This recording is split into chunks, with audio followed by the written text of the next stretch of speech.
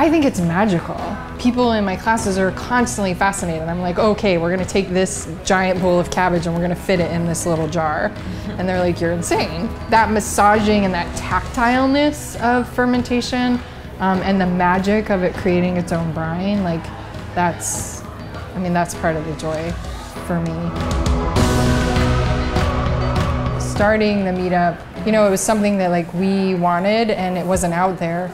Um, so we wanted to, to make it happen. The main thing for me and the thing that I try and get across in all my preservation classes is that it's so easy. It's so easy to get started and then there are all those layers. You can do something really simple and then you can just keep going um, and get like nerdier and nerdy, you know, like deeper and deeper into the um, fascinating parts of it. Sometimes um, I find this with cooking because I'm a professional chef too. Sometimes I get caught up in the rules.